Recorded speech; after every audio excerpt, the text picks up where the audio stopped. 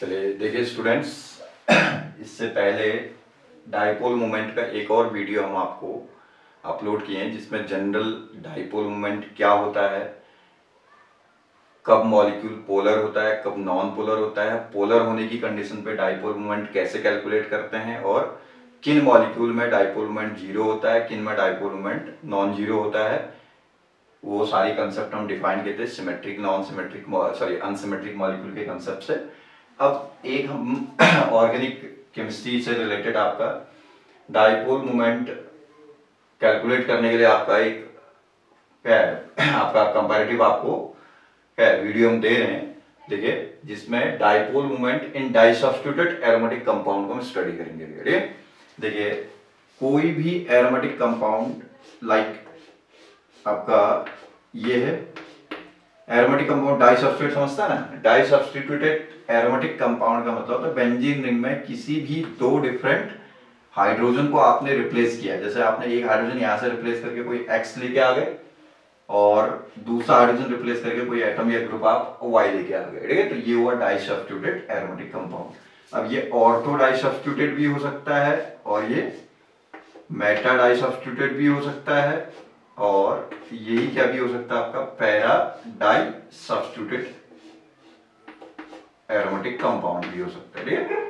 तो ये तीन सिचुएशन है ortho di substitute meta di substitute and para di substitute ठीक है?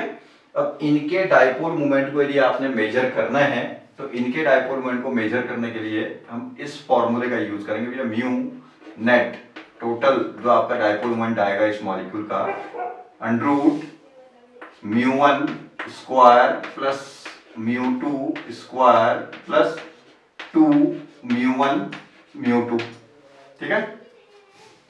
Sorry two mu one mu two cos theta ठीक हो गया? इस फॉर्मूले से आप डाइपोल मोमेंट का मेज़रमेंट करेंगे। ठीक है? अब देखिए कैसे। अब मैं इसमें तीन केसेस आपको दिखा रहा हूँ। उन तीन केसेस के अकॉर्डिंग एग्जांपल के थ्रू ही चलते हैं। देखिए। इफ़ बोथ द एटम्स और groups are withdrawing X and Y दोनों विड्रॉइंग है और सेम है। सेम है दोनों। इसी में आपका क्या केस हो सकता है? मेटा डाइक्लोरोबेंजीन हो सकता है। फिर पैरा डाइक्लोरो बेंजीन हो सकता है। क्यों ना? ये हो गए एक पर्टिकुलर केस दूसरा केस हम आपको यहाँ पे शो करें। तो जिसमें आपका ये है, देखिए। एक आपका सपोज़ सी है, दूसरा C S C ortho disubstituted ortho xylene कहते हैं ठीक है ना? एक है meta xylene C S C and C S then third one para xylene ठीक हो गया? C S C and C S C हो गया ना? फिर एक केस और लेंगे। इसमें हमने दोनों विड्रॉइंग ग्रुप रखे हैं, इसमें दोनों donating groups electron donating groups and तीसरा जो हम लेंगे उसमें एक डोनेटिंग एक विड्रॉइंग ग्रुप का केस हम ले लेंगे, ठीक है? चलिए, इसी में हम दिखा देते हैं। एक्स की जगह यदि आपने क्या ले लिया चलिए एक्स की जगह आपने कोई donating group C S C ले लिया? वाई की जगह आपने क्लोरीन ले लिया। एक डोनर हो गया, एक विड्रॉइंग हो गया। इन्हीं का केस हमने ले लिया। यहाँ सी और यहाँ पे C L then C L and C S ठीक हो गया? तो ये हमारे पास तीन केसेस है, इसको केस थर्ड हम बोल रहे हैं। तो देखिए, पहले हम केस नंबर वन पर आते हैं जब दोनों विड्रॉइंग ग्रुप हैं तो इस बॉन्ड में जो आपका डाइपोल मूवमेंट होगा, क्या वो किसकी ओर को होगा? क्लोरीन की ओर को। ऐसे होगा क्योंकि विड्रॉ करेगा तो नेगेटिव पोल सीएल पे बनेगा पॉजिटिव पोल कार्बन पे बनेगा। ऐसे इस पे भी आपका ये नेगेटिव पोल बनेगा, ये पॉजिटिव पोल बनेगा। गया? मेटा के केस में ये नेगेटिव पोल एंड ये नेगेटिव पोल ये पॉजिटिव पोल ठीक हो गया? यहाँ ये हो गया। ये। इतनी बात समझ में आता ना?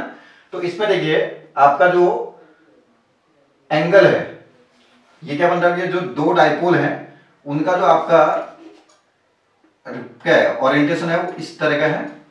तो इनके बीच का जो एंगल बन रहा है, दो डाइपोल के बीच का थीटा। यहाँ पे जो एंगल बन रहा है, वो कितना है? ये देखिए, एक ये है, एक इस डायरेक्शन पे है। ये हो गया ना? तो यहाँ पे एंगल कितने का बना आपका ये? इनके बीच का एंगल 120 के आसपास का एंगल बना हुआ। यहाँ कितने का बना ये एक डाइपोल ये है, एक डाइपोल ये है। कितने का एंगल बना? 180 डिग्री का एंगल बना। ठीक है? अब इतना थोड़ा सा आपको ट्रिग्नोमेट्री का इतना कंसेप्ट आना चाहिए। थीटा वैल्यू ज़ीरो सिक्सटी कुछ एक्सट्रीम केसेस को लिख रहा हूँ मैं। Ninety one twenty and one eighty degree है। ठीक है?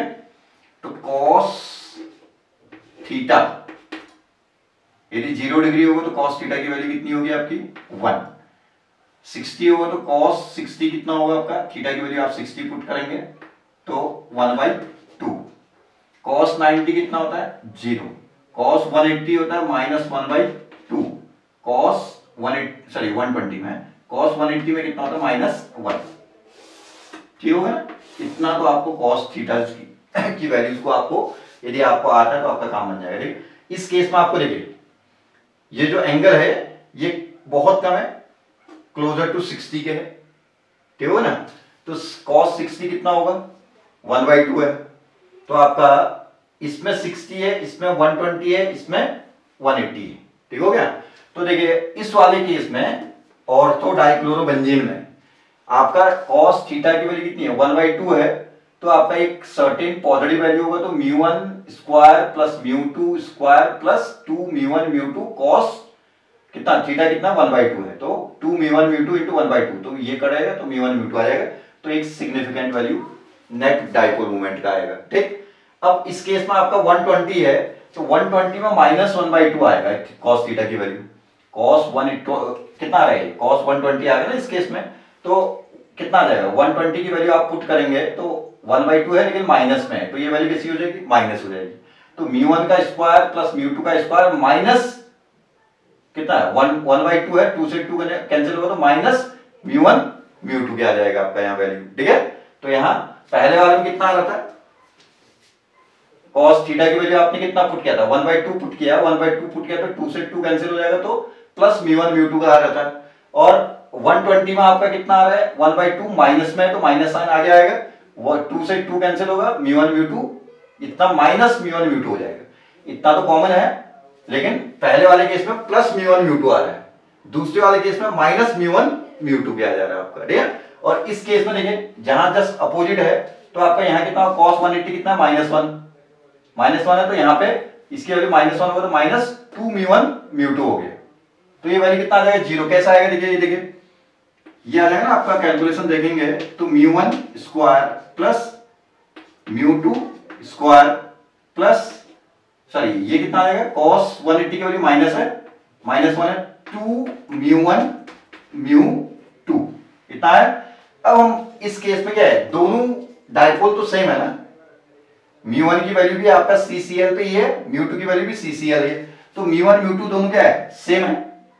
म्यू वन म्यू टू दोनों क्या है? सेम है। अब ये डिफरेंट ग्रुप होते हैं, तब तो हम सेम नहीं कहते लेकिन फ़िलहाल आपका क्या है? ये भी सीसीएल है, ये भी सीसीएल है तो दोनों mu one mu two same है। तो इसको आप ऐसे लिख सकते हैं ये। ऐसे लिख सकते हैं ना? टू म्यू वन अब देखिए म्यू टू स्क्वायर की जगह भी आप क्या लिख सकते हैं? म्यू वन स्क्वायर लिख सकते हैं, क्योंकि म्यू वन और म्यू टू सेम है. म्यू वन क्या हुआ? इस बॉन्ड में डाइपोल मूवमेंट म्यू टू हुआ इस बॉन्ड में डाइपोल मूवमेंट दोनों की वैल्यू सेम है. तो म्यू टू की वैल्यू क्या है? म्यू वन का स्क्वायर लिखेंगे तो टू म्यू वन स्क्वायर हो जाएगा. क्यों ना माइनस यहाँ भी two mu one mu two और आपका म्यू वन के इक्वल ही है तो आपका टू म्यू वन स्क्वायर तो कितना आ जाएगा? ये वैल्यू इक्वल कितना आ जाएगा आपका? ज़ीरो क्या आ जाएगा आपका? ठीक है तो ये ध्यान रखिएगा भी आपका इसमें आपका नेट डाइपोल मोमेंट कितना हो गया आपका? ज़ीरो है इतनी बात समझ में आ जाएगा ना? तो if both withdrawing group being present in disubstituted aromatic compound, then there will be maximum dipole moment of ortho. ठीक है? ऑर्थो डाइसब्स्टिट्यूट ठीक है? क्योंकि यहाँ थीटा क्या है? कम है. थीटा जैसे जैसे थीटा बढ़ रहा है तो आपका कॉस थीटा की वैल्यू आपकी कम होती जा रही है. ठीक है? कॉस थीटा की वैल्यू कम होगी तो आपका क्या है? ये क्वांटिटी आपका क्या है? इस केस में, पहले वाले केस में तो आपका पॉजिटिव में था तो कुछ ऐड हो रहा था. और आपका 120 वाले में आपका क्या है? माइनस में आ रहा माइनस वन बाई टू है कॉस वन ट्वेंटी की वैल्यू तो आपका कुछ सब्सट्रैक्ट हो जाएगा। तो आपका इसमें से कुछ सब्सट्रैक्ट होगा तो आपका पहले वाले से इसका डायपोल मोमेंट क्या आएगा? कम आएगा, और इसमें तो आपका ज़ीरो आ गया। हमने आपको डिफाइन कर दिया, ठीक तो यहाँ से आपका ये हो गया। इसमें फिर उसके बाद मेटाडाई क्लोरो फिर पैराडाई क्लोरो बेंजीन हो? जाएगा ठीक इसमें कोई कंफ्यूजन नहीं होगा। अब इस केस में देखिए दोनों के दोनों विड्रॉइंग सॉरी डोनर है। तो ये डायपोल यहाँ को ओरिएंटेड होगा। ध्यान से देखिएगा इसको। ये डायपोल भी यहाँ को ओरिएंटेड होगा। ये डायपोल ओरिएंटेशन ऐसे ही शो करता यहाँ ये डायपोल ओरिएंटेशन हो गया और ये डायपोल ओरिएंटेशन हो गया। ठीक हो गया? यहाँ ये डायपोल ओरिएंटेशन हो गया और ये ऊपर को ओरिएंटेड है। ये हो गया ना इतना तक? इस केस को यदि हम शो करें तो कैसे शो कर सकते हैं? ये? ये हो गया ना? ये हो गया। क्या हो गया? ये वाला आप ये दिखाए, ये वाला आपका इस फ़ैशन पे है। तो आपका ये एंगल कितने का बनेगा? अप्रोक्स सिक्सटी का। इस केस में ये हो गया, ठीक हो गया। ये वाला अपनी जगह ये वाला ऐसे है तो कितने का एंगल बना भैया 120 के आसपास का, ठीक है? ये अप्रोक्स 60 के आसपास का। इस केस में है, दोनों जस्ट क्या है? ये नीचे को ओरिएंटेड है, ये ऊपर को ओरिएंटेड है, ठीक हो गया? तो यहाँ पे आपका कितना हो जाएगा? ये ये ऊपर को ओरिएंटेड है, ये नीचे को है तो ऐसे दिखा 180 डिग्री का केस बन गया। ठीक है बिल्कुल उसी की तरह है, जैसा कि आपका दोनों विड्रॉइंग वाला केस था। तो दोनों डोनर होंगे, तब भी आपका, जब आपका क्या होगा ऑर्थो डाई सब्सटेट होगा तो उस केस में आपका क्या होगा? Two mu one mu two cos sixty है। कॉस सिक्सटी की वैल्यू कितनी है? One by two one by two से टू से two cancel two mu one mu two बच जाएगा। ठीक है तो mu one square plus mu two square plus sorry two तो कैंसिल होगा ना? Mu one mu two add हो जाएगा। देन मेटा वाले केस में आपका ये 120 का एंगल है तो cos 120 कितना होगा? माइनस वन बाई टू तो माइनस तो आगे आ गया तो वन बाई टू का टू इसका टू कैंसिल तो minus mu one mu two हो गया उस केस में। इतना minus mu one mu two हो जाएगा उस केस में, ठीक है? तो क्या है? नेट डाइपोल मोमेंट इसके कंपेयर में इसका कम हो जाएगा। इसमें तो आपके क्या है? ऑर्थो वाले ऑर्थो डाई सब्सटीट्यूट पे क्या है? इतना प्लस इतना plus mu one mu two आ जाएगा, क्योंकि वन बाई टू से क्या है? वन बाई टू वाले टू से ये टू कैंसिल हो जाएगा, ठीक है? और मेटा वाले में क्या होगा? माइनस आएगा तो यहाँ माइनस साइन आ जाएगा तो टू से टू तो कैंसिल होगा तो minus mu one mu two आपका क्या है? इसमें से इतना म्यू वन म्यू टू आप सब्सट्रैक्ट करेंगे, ठीक है? तो थोड़ा कम आ जाएगा। इसमें 180 वाले केस में कितना होगा दोनों क्या है? यहाँ भी सेम है ना? दोनों डायपोल क्या है? सेम है। ये आपका सी सी और सी के बीच का डायपोल है। ये भी सी एस टी और सी के बीच का डायपोल है। तो दोनों वन और टू दोनों सेम है तो इसमें क्या होगा? 180 वाले केस में क्या आपका, ये वैल्यू आपका टोटल कितना आ जाता है? ज़ीरो जाता है। पहले वाले केस में हम आपको एक्सप्लेन कर चुके हैं। तो यहाँ पर भी सबसे ज़्यादा ऑर्थो फिर मेटा फिर पैरा का आपका क्या होगा? डायपोल मूवमेंट रहेगा ठीक है? अब आते हैं तीसरा केस जो आपका है, जिसमें एक आपका क्या है? डोनर ग्रुप है और एक आपका विड्रॉइंग ग्रुप है। तो इस केस को थोड़ा सा ध्यान से समझिएगा। आपको कंफ्यूजन क्रिएट नहीं होना चाहिए इसमें, ठीक है ना? देन देखिए।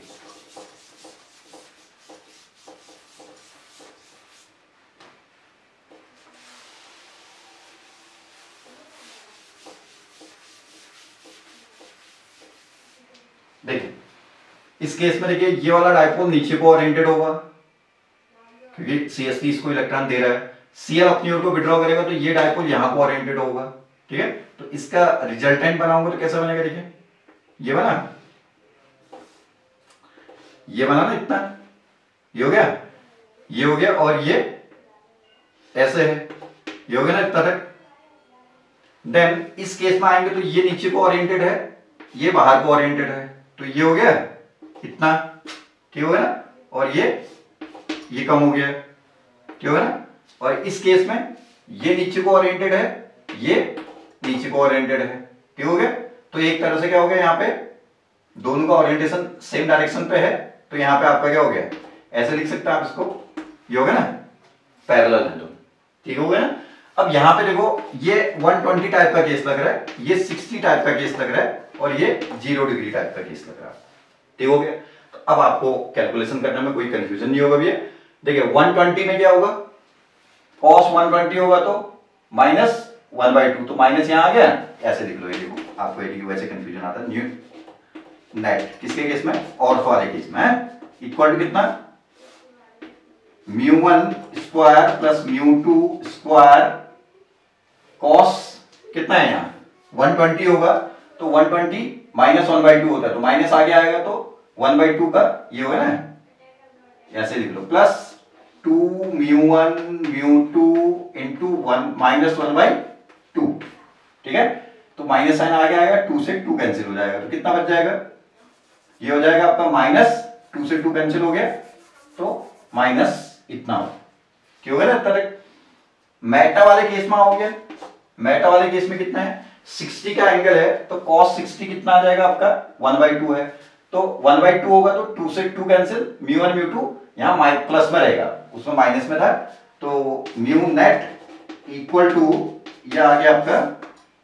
Mu one square plus mu two square plus कितना? म्यू वन म्यू टू ये हो गया? देन तीसरा पैरा वाला केस है। तो पैरा वाले केस में म्यू नेट, देखिए कितना आएगा, देखिए, सुनना। यहाँ पे एंगल कितने का? ज़ीरो है। दोनों नीचे को ही ओरिएंटेड है पैरेलल है तो ज़ीरो कह सकते हैं।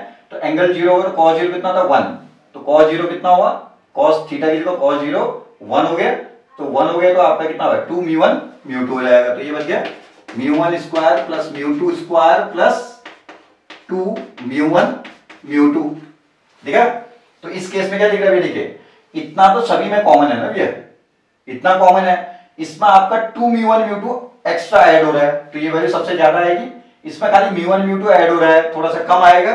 इसमें सब्सट्रैक्ट हो रहा है म्यू वन म्यू टू तो इसमें सबसे कम आएगा, ठीक है? इसलिए आप कह सकते हैं पैरा का dipole moment para di substitute का क्या है? डायपोल मोमेंट सबसे ज़्यादा, उससे कम मेटा सबसे कम ऑर्थो डाई सब्सटीट्यूट का डायपोल मोमेंट ये आपका डायपोल मोमेंट का ऑर्डर होगा, ठीक है? तो बिल्कुल आपका कंसेप्ट बिल्कुल क्लियर है। यदि दोनों डोनेटिव क्या है? डोनर ग्रुप है डाई सब्सटीट्यूट में, या दोनों विड्रॉइंग है तो आपका ऑर्थो मेटा पैरा ऑर्डर इस फॉर्मूले के अकॉर्डिंग चलना थोड़ा सा कॉस्ट की वैल्यूज़ को आपको क्या है? पता रहना चाहिए। ठीक है? बाई चांस आपका एक डोनर एक विड्रॉइंग ग्रुप होगा तो उस केस में आपका ऑर्डर जस्ट उल्टा हो जाता है। पैरा का सबसे ज़्यादा डाइपोलमेंट होगा, फिर मेटा का होगा, फिर ऑर्थो डाई एरोमेटिक कंपाउंड का या बेंजीन का होगा। ठीक है? इतनी बात समझ में आ जाएगा। तो मेरे ख्याल से ये बहुत अच्छा टॉपिक है भैया आपका। क्या है? पेपर में आने के या कम्पिटेटिव एग्जामों में आने के चांसेस रहते हैं इस क्वेश्चन के। तो आपको कहीं कोई कंफ्यूजन की कंडीशन नहीं रहनी चाहिए, केवल कौन विड्रॉइंग कौन डोनर ग्रुप ये पता होना चाहिए और इस फॉर्मूले को अप्लाई करना है कॉस्ट थीटा की वैल्यू आपको लर्न कर लेना है तो उसके अकॉर्डिंग आपका काम बन जाएगा, ठीक है? चलिए थैंक यू